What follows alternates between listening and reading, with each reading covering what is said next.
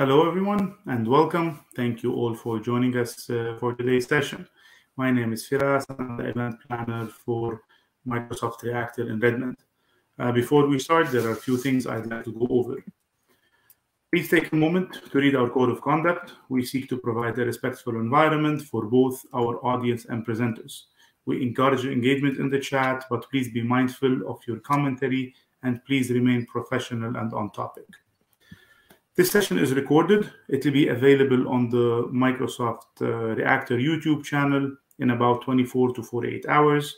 I'll be sharing the link to the YouTube channel in the chat. I'll also be sharing some links to the Reactor Meetup page, and I'll also be sharing a link to our survey uh, if you want to let us know how this event uh, went.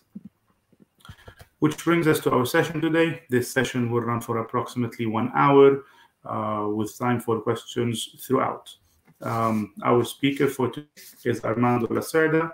He's an Azure platform architect, and I'm now going to pass this along to Armando. Thank you Firas. Hello, everybody. Good morning. If you are connecting here from the US West Coast, good evening, good afternoon. If you are connecting from somewhere else in the world, and uh, welcome to our live session on um, uh, the trades of DevOps, the tools of the trades for Azure DevOps. And my PowerPoint is not flipping. Let me see. There we go. DevOps tools of the trades. The, uh, uh, yeah. So my name again is Armando Lacerda. Thank you Firas for introducing me. Um, I'm besides being a data engineer and a data architect, I'm also a Microsoft certified trainer and I am a Microsoft uh, MVP. Uh, trainer means I love to do this. What I'm, I love to do this, uh, this thing I'm doing here right now, which be uh, meeting with you guys and uh, sharing some of uh, knowledge on the this particular topic today on DevOps. But I love being in a classroom. I love exchange ideas. So if you want to connect with me on LinkedIn or Twitter and keep the conversation going after this session, that will be great. I would love it. Uh, Facebook, I do have a presence there, but no technical stuff over there. It's just my personal things, like riding my motorcycle or soon jumping from uh, uh, doing skydiving, jumping from an airplane. Uh, it's on my bucket list. I think I'm up for that in a few. In any case, before I do that, uh, we're gonna go and uh, talk about DevOps and what is involved into DevOps and what are the tools we get from Microsoft um, and some other uh, Microsoft and some other companies on uh, on implementing DevOps on its multiple stages. This uh, particular session uh, also has a, a, a, a, secondary goal, which is uh, motivating you, inviting you to go and explore the Microsoft Learn website. You know, this logo here on top of my head, Microsoft uh, Learn website um, if you're not aware yet, I've been doing these sessions here. This I think this is my seventh session uh, uh, on this particular build skill series. And the idea here is um, Microsoft has made all their learning materials available for free on the Microsoft Learn website. So uh, Microsoft has official classes. They still have the official classes, and when you go to an official class, you have a trainer that you can talk to, and you have an environment that's been set up for you. So we have a lot of perks when you go to an actual classroom setting. But if you like to uh, to do self study, right, to take uh, to study at your own pace, your own time, that the courseware material that Microsoft used to give uh, only in classrooms, now they made the whole thing available for free on this platform, Microsoft Learn. So um, I'm going to show you how to get there in a few. And I highly uh, uh, invite, uh, highly um, suggest to you, um, you know, invite you to go and check it out. And um, one of the topics in there is this one, Microsoft Dev, uh, I mean DevOps and the Microsoft tools around DevOps and services of, uh, around DevOps.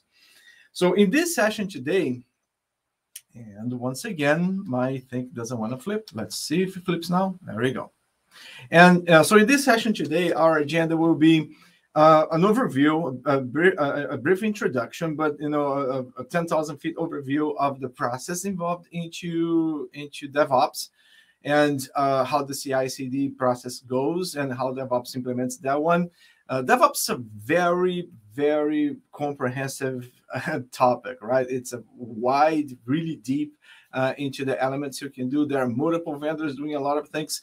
So um, this introduction will be more into the general terms and how those things connect into the Microsoft platform, what Microsoft offers for those. So after the introduction, we go uh, review the story and see the tools that are involved in each one of those steps. Um, and this, uh, I plan to have some demos in there for you, show you some elements in there. And uh, at the very end, I'm gonna uh, also gonna see the service of every stage, of course. And at the very end, we're gonna see uh, the links for you on the Microsoft Learn website and uh, on the GitHub repo for some workshops that you can uh, do on your own at your own pace. Microsoft, again, like I said, they make the material available for you and also incorporated material from GitHub. Um, because you're not aware, you know, GitHub is, is, a company that's been around for a very long time. They host over 100 uh, million projects over there.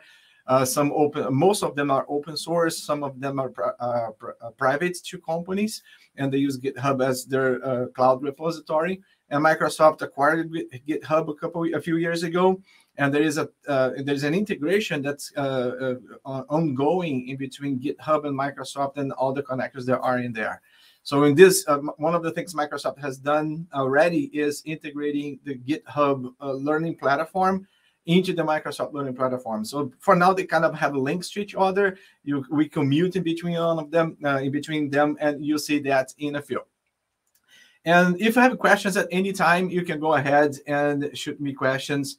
Um, uh, Firas is uh, uh, looking, is monitoring the chat, the, the chat uh, window there. So if you have any questions, just go ahead and pop up the question there. Okay, so um, the whole the whole thing about DevOps, the, the, the main idea surrounding DevOps is uh, trying to fix, in a very simplistic way, is try to fix, um, uh, uh, uh you know, uh, um, an issue we used to have at the since, since the uh, beginning of computing, when we have developers that they create code on a particular environment, and when they get the code to run uh, in the, another environment, it can be either production or a client of theirs, and you know deploying it to multiple places. Uh, it got into those situations where it works on my end on my computer, but doesn't work on your computer this is one of the issues that Dev, uh, you know the, the idea of DevOps came around to trying to fix. The other issue is trying to create processes. Uh, so the code, uh, you know, the, the, the development cycle and the code can be uh, automated and can be uh, gated, right? It can be you can you have checkpoints, you have uh, quality controls, and if they fail, you don't move forward into the process of deploying and delivering something. So DevOps development and operations is the uh, is this blending of two uh, two areas of computing they're used to be very apart. I, am a developer, do my development, do my code, and then give my code to you, and you know you do your thing to get it to work on your environment. And operations, that's like you know people create code and now of trying to find a way to get it to work on my environment. So the idea is to blend these two things if you are um, uh, if you are into uh, uh, reading um, like a not technical reading is sort of a romance but it's a romance on uh, with the IT background I highly recommend you taking a uh, take a look on a book called the Phoenix Project. I, when I get to the browser here I, I, I will give you a link it's a very interesting book. I read it. I, I, felt like I was part of the book. I was one of the guys there in the book. and um, the uh, the authors they go into this drama of getting uh, IT companies, IT's department working with development and get things to deploy uh, without much much disruption. So the whole idea of DevOps to have this integration and make sure that the code goes from developers to uh, production environment with minimal disruption and with a lot of uh, uh, a lot of uh, quality checks uh, along the way. So everything starts with the developer. So that's the idea, right? here on this picture here, I place like some an icon here for a developer. The guy is using his tools or her tools to to code to do their code on their own computer. So usually on companies, they are working on their own laptops, on their own workstations, and um, you know, they're doing the coding here, they implement the code here. This person more likely work uh, in a team, in a group. So everybody's working uh, uh, on their own portion of a unique system of one system, one major system. So this is this developer is working on one particular aspect of the system. This developer is working on another uh, aspect of the system. The same for the first guy, and these three guys here, they they are, they have to get their code together, and the code must work together. So there will be uh, some place where there is a repository where all this code will converge together. And this repository here I already used the, the icon that's a very common um, uh, uh, standard repository standard we have nowadays, which is, which is the Git repository. Now there are other options. So Git, uh, one thing to keep in mind is GitHub is one company, right? It's again acquired by Microsoft a few years ago, so it's one company. GitHub is a trademark, is a company, and Git is a protocol. It's a standard that was developed by Linus uh, Linus, Linus Torvald long ago for developers to help do source control, right? To help manage source control um, and versioning and all of that and it's open source. It's the good the good thing about it. It's open source. It's not it, it, it, because it's open source. People adopt it, so it's more multi-platform as well. Bottom line is, these guys here they are developing their code and uh, they are doing their tests on their portion of the code. They more likely rely on uh, code from the other developers and um, some uh, they converge data into a Git repository. Right. This just the protocol, the, the, the repository, Git. We see the tools in the field. For now, we are into the story. So they're all integrated in there. At some point, the code they have created, they, they come into they, they, they run their own tests, they, they check the things are their own end. At some point, they say, hey, this thing is good to go. Um, we want to move forward and get this thing uh, into the process to get to production, right? To get a new feature, get a new release, and more, nowadays most companies they adopt this uh, this process uh, called agile which um, which um, push um, core uh, organizes the process. Sorry i'm trying to choose my words here. The the agile process try to get uh, things uh, de- uh, deployed as fast as possible. So you, you don't you don't wait for major milestones to get like a full product out you just release based on features and you get the, the fruits, um, the low hanging fruits, and you push out uh, the things that are available for you, uh, available or develop and stable as much as, uh, as soon as possible. So you, you know, agile is one of the process that uh, uh companies use to get things done and rolled out to production quicker in short in short sprints. So when that is done, when development, you know, the whole team has pushed uh, that data, that code in there, and saying that the code is good for uh, for uh, production, of course, we're not going to go straight into production, right? We first want to run some tests. Run the the developers they have run their own tests, but we want to have other people to go ahead and test those things to see uh, from their perspective, non-technical people more likely um, you know a group of users that are uh, elected to be testers on the, the feature that's coming in. Is about to roll out. Uh, we want to have those guys to test the, the features. So we have this environment this, this second environment called the test environment. And part of the devops process is exactly this isolation of environments. There is an environment here where developers do their things and uh, I'm a developer at heart. Uh, I'm a data engineer, like I mentioned, a data architect and a data engineer, depending on the project, which hat, which hat I'm using, I'm wearing on. Um, but uh, as a data engineer, I do coding, do a lot of coding for data transformation. So um, developers here could be data engineers like me, can be data scientists, or can be uh, actual developers for applications, for mobile applications, for some uh, tiered uh, business logic or something like that the bottom line is we developers we have our environment that's usually messed up. We we we do our messing here but we get things done and we implement our code and we push our code for testing.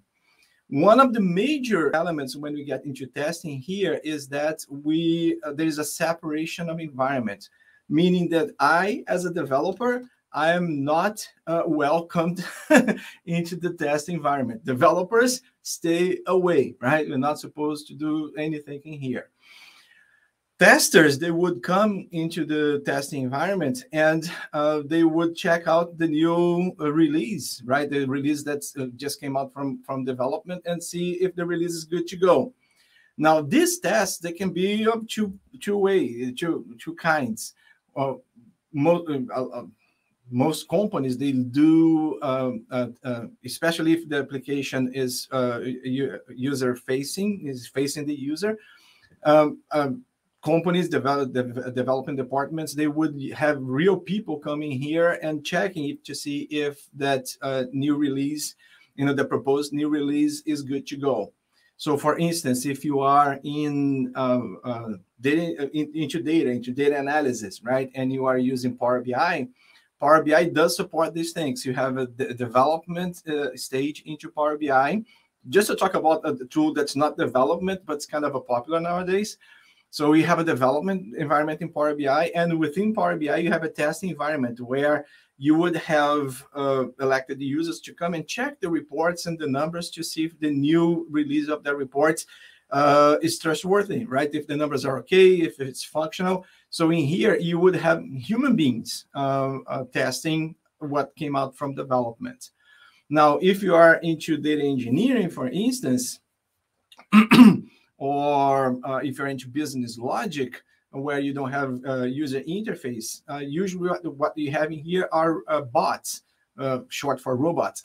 you have bots, piece of software doing unit tests on on on your APIs to see if the APIs re, uh, responds, if it doesn't break, and if the uh, result of a, an API call is the expected result, right? When you call the API, you get the you get the information you're expecting back from that from that call. So it can be of two kinds, right? It can be either automated through bots or it can be uh, gated by uh, gated and tested by human beings, and they will do their uh, good uh, good to go, you know, the, the thumbs up or the thumbs down. And when that is done, when test is uh, is finished, is completed, you get production. So when you get into production, you have yet another challenge in here because you have an environment that's already running, right? Like I have a website, I do online uh, online trading, for instance. I you know I sell products online. So if a new feature is coming in is replacing something that's running, there will be uh, a, a flip over, right? Something that needs to be replaced by something new. So when I do this flip over, the question is, will I have downtime? You know, when I do this flipping here, when I do this flipping here, uh, what will happen to my customers? You know, if they are in the middle of buying something on my uh, on my website, and and when they click buy, and it, it, right in between they uh, fill up their carts and click the you know buy or close the checkout, I replace something in the system, and then they their experience get disrupted, and then they decide not to fill up the cart again, and they go away, and I have lost revenue. So we don't want to have that, right? We definitely don't want to have that. So in here in the production stage, we do also need tools into the DevOps process to uh, make the uh, release of new features that are being tested and approved make the release of new features as smooth as possible. And uh, there will be tools for that. Actually, there will be uh, more techniques than tools uh, into this one here that will be supported by the services behind all of that. So in a nutshell, oops, the test flew over over there. Let me remove that test there just quick. A, a problemo on my uh, slide deck. Let's see if that fixed it in here. Yeah, that's better. um, okay. Here, there you go. So that is the overall idea of, of DevOps, right? All the way from development through test and uh, uh, automated or manual test, and then release into production. This is the whole idea of DevOps. And uh, there are some acronyms that go around here these stages they have uh, uh, there uh, this process also um, referred to as the CI CD process. And just for your benefit, uh, for you to match well, when people talk about DevOps, when people talk about CI/CD, what this next means.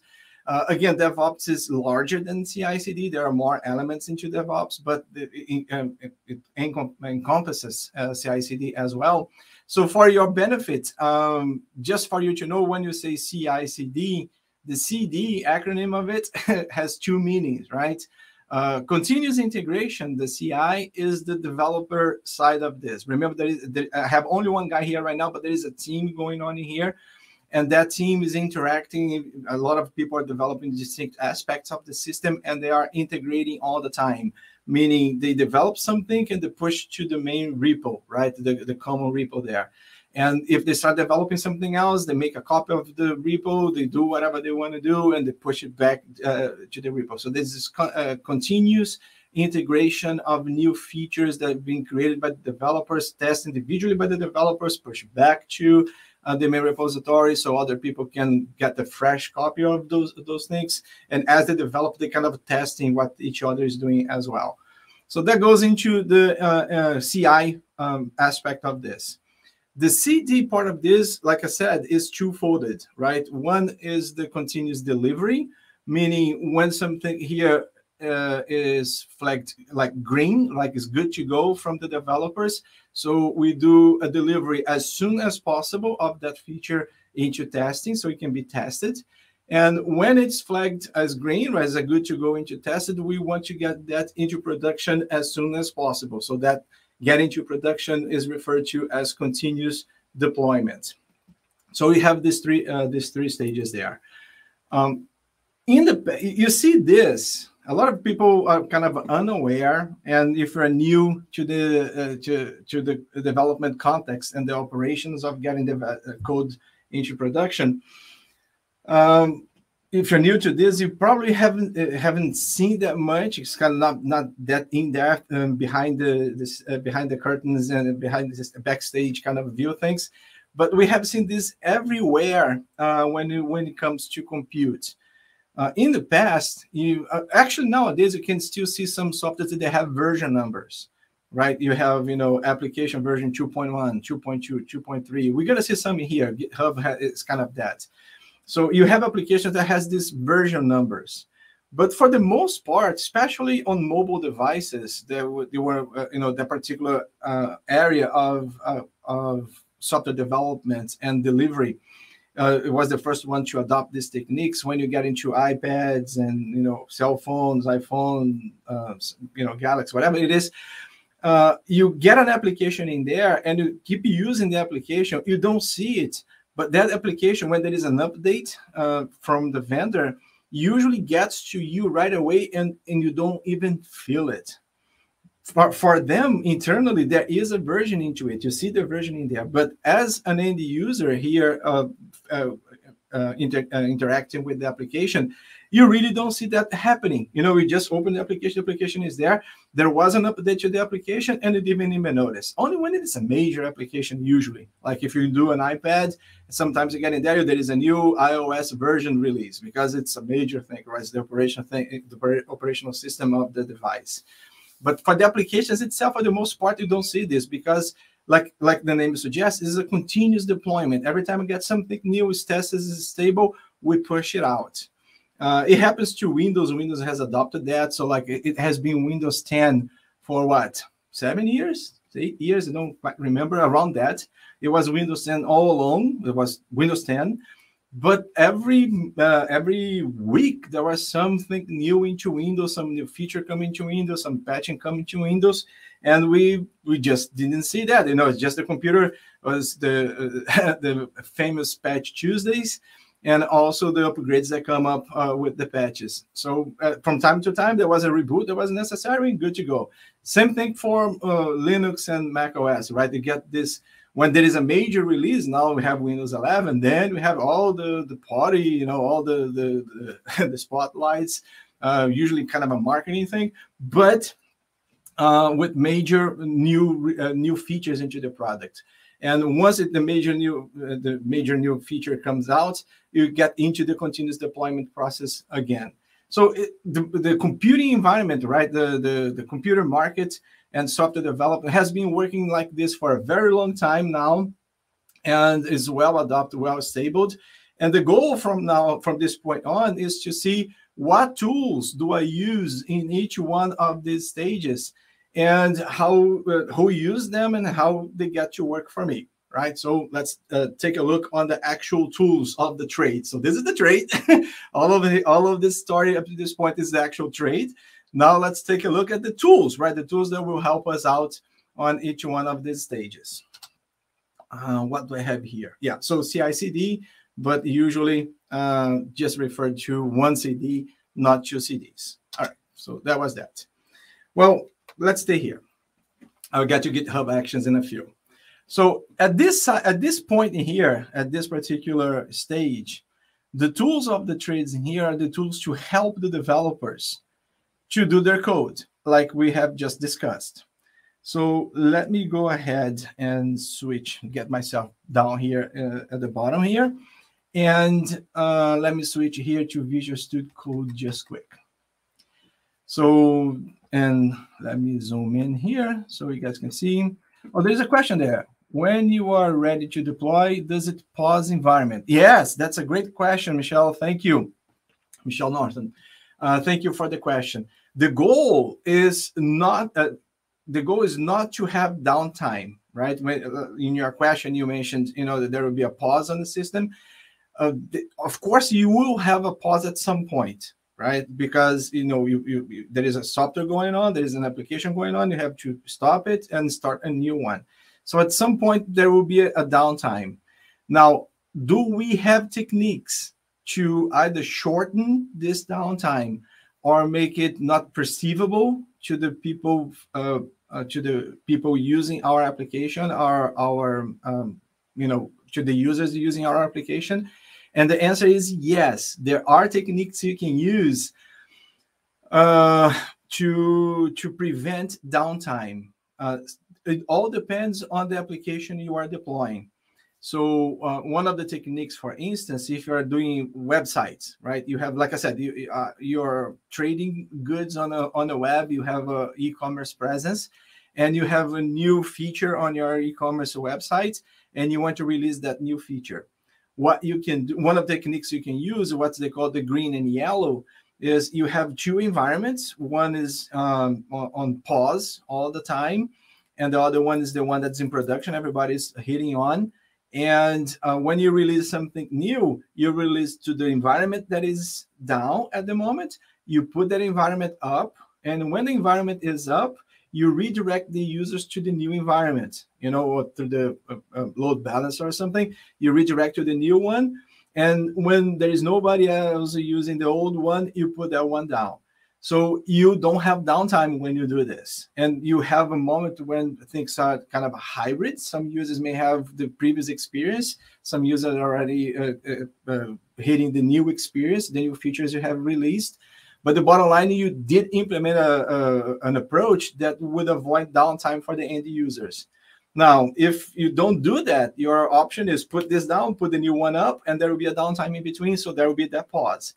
Depending on the platform and what you are deploying, you may be able to adopt the green blue uh, environment uh, technique. That's a technique, right?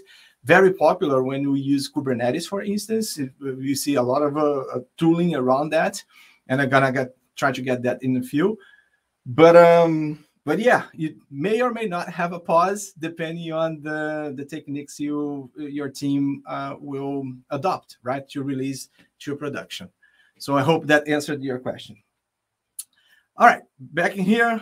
Uh, must you wait for the transactions in flight to so if you do the the if you do the green yellow technique that I just mentioned, um, you you will do that, right? You never just stop the application uh, the application or have the uh, or queue up the user say wait out there until I finish my release, right? If you do the green uh, green and yellow new users new hits to your your website we hit the new release that's already up and they are side by side at a point and the other ones to finish the transactions that are going on. And when the transactions are committed, or if they are aborted for a reason, um, when there is no more running transactions, you put that one down.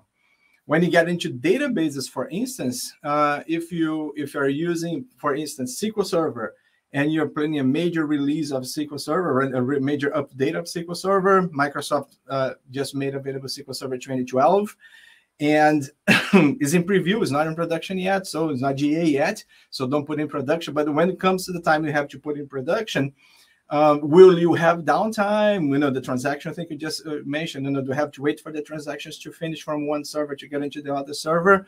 That could be the case. That may not be the case, depending on the techniques you apply to do the back end uh, update. So it all depends on the server, on the server and services you are working on, where they are deployed, if in the cloud or on premise, and if you can use some particular techniques like the green yellow I just mentioned. All right. Good question again. Thank you. All right. So just to get the lineup thought here again, we are talking about. Uh, I think I have my clicker here somewhere. Let me get my clicker. Is it here? Yeah. So uh, I was talking about the uh, developers, right? And the developers uh, develop uh, creating code and get that code uh, into the repo. So, what are the tools of the trade on the DevOps uh, approach, right, for the whole pipeline on this particular stage here for the developers? For the most part, the basic tools they need is something that's integrated with a developer development environment. So there was a point in time in history when the big deal was the IDE, right? We have an integrated development environment where we have the source code editor integrated with the, the compiler, and you do the whole thing together. You don't have to switch between environments. So that has been settled long, long ago. Nowadays, Microsoft offers two uh, IDE environments. Um, one, it's the traditional one called uh, Visual Studio, and I think the current version is 2022 so you use Visual Studio. I used to be a big Visual Studio user uh, as a developer. I used to do all my things in Visual Studio. But for a long while, yeah, five, six years or more, uh, Microsoft has released this um, other um, flavor. I would say I would call it another flavor of Visual Studio, uh, Visual Studio called Visual Studio Code. And the big deal about Visual Studio Code is uh, is multi-platform. Visual Studio works only on Windows environments. So if you are a Mac user, Linux user, you have to spin up a virtual machine to get Visual Studio working for you there on those uh, Mac or Linux environments. But Visual Studio Code is multi-platform. It works on multiple environments. It's you know it's uh, lightweighter, lightweight, and kind of um, um, you know it offers a different approach to development in the development cycle. It's the same idea, same integration. So here on the right side, for instance, I have a bunch of uh, integrated elements into my development environment. Like if I do Azure development, uh, I can download extensions from this uh, blading here. And like, you know, I do Azure development. So are there anything to help me out with Azure development? And all of these things here, they got the check mark there already. Uh, they are already available for me. Uh, give me just one second. Let me do uh, enable the zoom in here feature. There we go. So let's try that again. So here, you see, I have these green marks already here, which means I have already downloaded this uh, these tools. So if I want to do, you know, Azure databases, I have some integration here with Azure on this blade here that I just integrated and actually I had already integrated there, right? So I, here I have my uh, resources from all my subscriptions, and I can go and see how integrated it is. Uh, I'm developing my application. I'm looking to Azure and doing stuff in there. But when it comes to the actual develop, development of my code, uh, what I have in here is this uh, um, uh, this feature in, in the tool. And again, I'm doing Visual Studio Code here just as a, an example, right? Visual Studio itself does it, and there are a lot of other great tools from other vendors that, do the same. The tool of the trades is the support for Git. This guy here, right? Support for, uh, come on, what is it? Here is the support for source control for Git. And um, Git is the prevalent protocol or standard out there uh, GitHub being one of the services in the cloud that use this protocol. but there are some others. You can go ahead and look into others if you'd like. Um, one of the aspects that let me go back to this slide deck here just quick. One of the aspects of Git that you need to understand, if I um, let me see if the zooming works, it does. Perfect. One of the aspects of Git is the source code is kept in multiple places. Like the source code in here is kept both at the client, uh, I mean at the developer's workstation, and in a in a repository someplace else. Um, usually kind of a central place where people converge to, developers converge to, but it's just a copy like this one is a copy as well. It's just being elected as the copy that everybody converges to. So one of the things to keep in mind about Git on this uh, uh, uh as one of the tools of the trade is that uh, whatever Git is running, there is a full copy of the code, right, of the source code of the application that people are working or whatever content they are developing. Let's go back here. Yeah. Um, in order for uh, for Git to work, you do need uh, the command. Oh, sorry, you do need the command line support for Git, which is this guy here, Git. You need that command line support for Git. And to get the command line support for Git, what you do is, let me see here, this guy. Yes, I'll get to this guy here in a second. Let me, where's my mouse? One second, folks. I got, I need to bring this one here. This popped up on the wrong window. So let me get this guy here. As you can see, I have tons of windows open.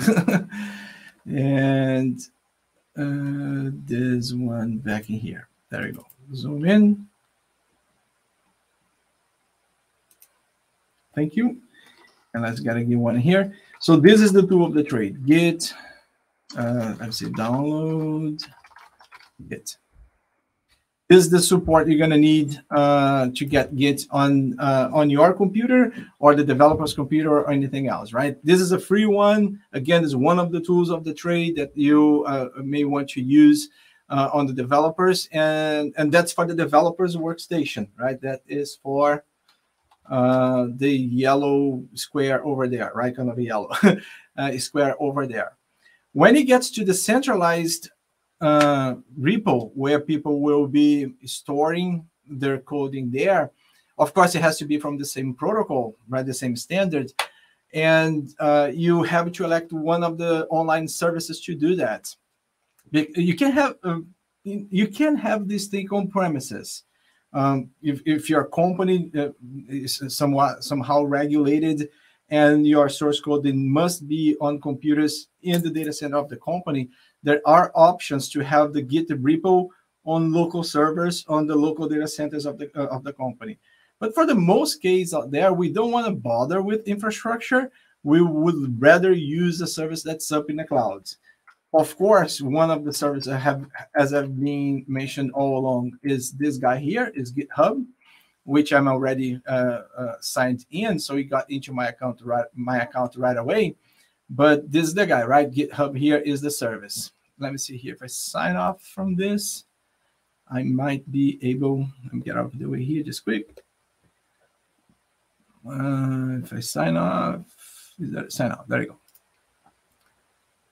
There we go. That's the main page there for this. So GitHub uh, is, is, your service. One of the th- one of the things, one of the many things that GitHub offers is the uh, the ability to create a repo to get your code in there. So this is another tool of the trade uh, for the developers where they can add the elements in there. Another tool you can use is mm, uh, Microsoft DevOps. Let's see. Where is it?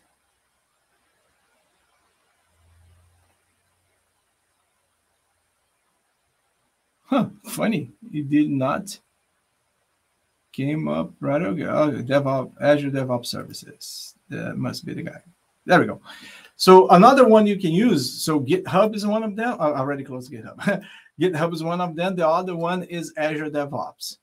What's interesting about Azure DevOps is uh, Azure DevOps is the Microsoft's uh, Microsoft's evolution of the um, previous technology like uh, Team Foundation Service (TFS) that people used to use when the cloud was not a thing yet. so when the cloud became a thing, it became uh, VSTS, Visual Studio Team Service, up in the cloud, and then it became Azure DevOps in a way, Azure DevOps does the same thing that GitHub does. So I remember that's kind of a confusing. You know, GitHub is Microsoft, Azure DevOps is Microsoft, and they do the same thing. So is Microsoft competing against each other? Um, in a ways, uh, yes, because they used to be apart, but now they are blending. And uh, companies may adopt Azure DevOps because they've been using DevOps for Microsoft uh, for Microsoft technologies for a very long time, or they can be converging into GitHub, which is a way larger uh, service, um, especially on the open source environments, where you can find way more elements in there from the from the community. Um, a lot of uh, in my opinion, Azure DevOps is way more mature, that has more features, especially to control the whole DevOps process than GitHub does. GitHub is get, is catching up, is getting better and better. And Microsoft has expressed that it's giving a lot of investment, is getting a lot of attention to mature GitHub. So you can for the as the tool of the trades for DevOps, you can use either uh, Azure DevOps or you can use uh, GitHub. Which one you use is your option, right? It depends on the flavor you like better, uh, how you want to implement it better. Uh, you know the visual of the elements and the features of the elements. Uh, in my opinion, DevOps has a way better um, user interface, while GitHub is more into coding and so on. Um, so that is for the repo. But like I mentioned, these two services. Let me go back to GitHub here in another tab. GitHub. These two services, both Azure DevOps and GitHub, they uh, uh, they do more than just um, they do more than just store your code into the repo. They offer uh, features to automate both the CD in test, the continuous delivery, as well as the continuous integration to production. Um, and this uh, on the GitHub side, this uh, one of the elements we use for that's called GitHub Actions. So GitHub Actions is the GitHub way to for you to implement how things move from stage to stage, right? From uh, when someone pushes something into the into the repo, how that uh, new feature from the developer moves from the repo into the test environment. Uh, and once tested, uh, what are your flags to say that it goes uh, from test into uh, into production? So GitHub Actions they integrate into the environment in this way, right? The uh, pushing, like let's say it's action, so they push things from place to place depending on how you code this. So this is all by coding. You go into uh, Azure Dev into GitHub. You go into GitHub and work inside GitHub. You create your code in there. You create your actions in there.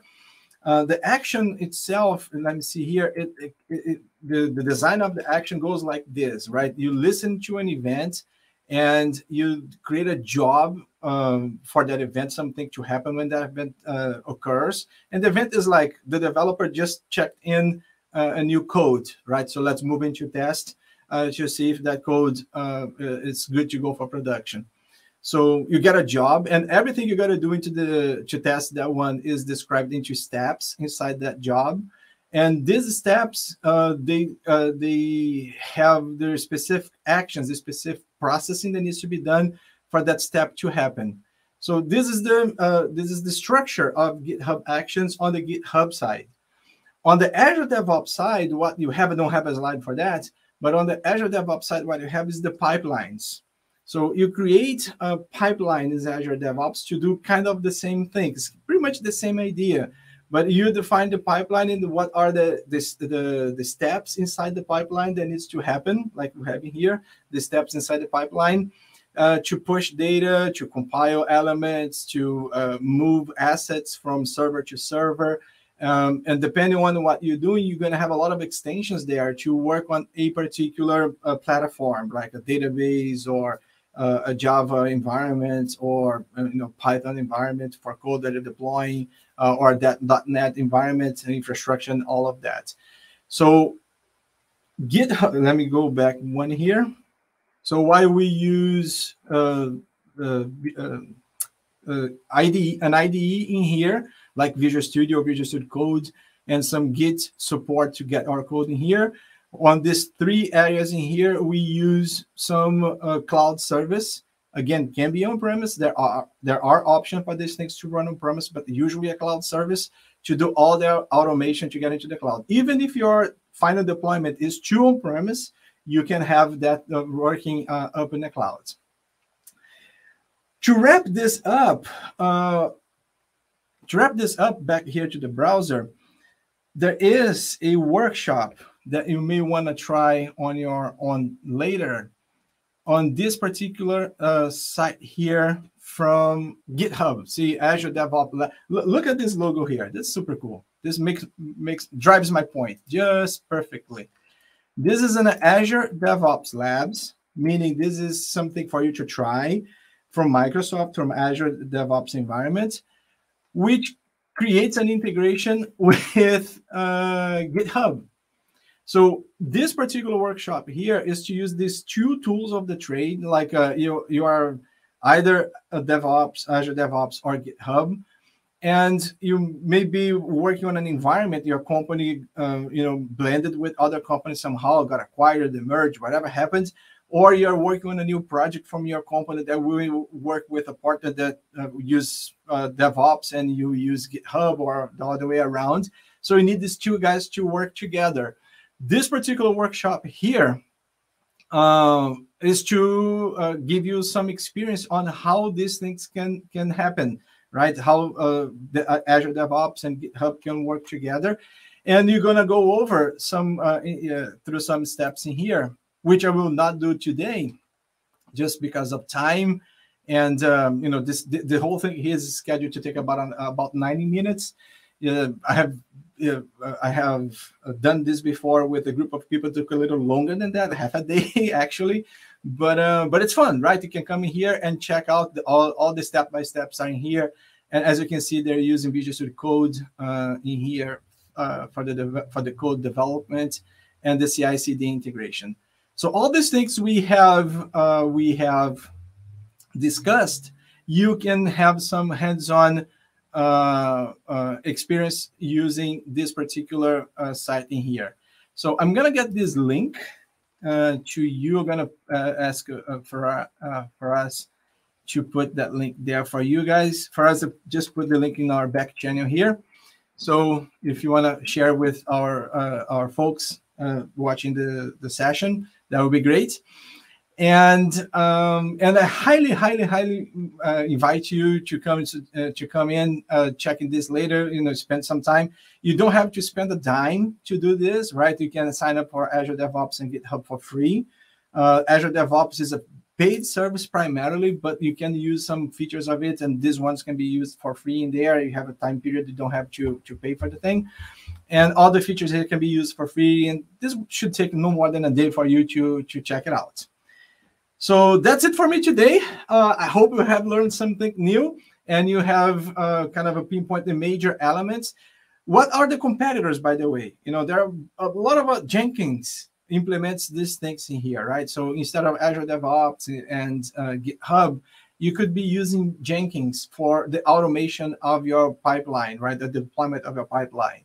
Your repo will still be GitHub, for instance, or some of Git repository, or even another another one and Jenkins could be your tool of the trade for for uh, implementing the CI/CD, the DevOps. There are more. There are many other tools out there. Uh, on this session, I'm trying to introduce to you. I try to introduce to you the tools you have from Microsoft and from the Microsoft Shop. So I hope you have enjoyed. I hope you have learned something new, and I see you out there on the uh, on the uh, uh, social network, on LinkedIn, if you decide to connect. And I give it back to you for us. Thank you so much, Armando. Uh, we appreciate it as uh, usual. Uh, for everyone else, thanks a lot for joining. Um, please, uh, if you have uh, uh, some time, we'd really like to hear your feedback on how this event went. Please use the code 15888. Thank you so much. And again, thanks, Armando. My pleasure. See you next time.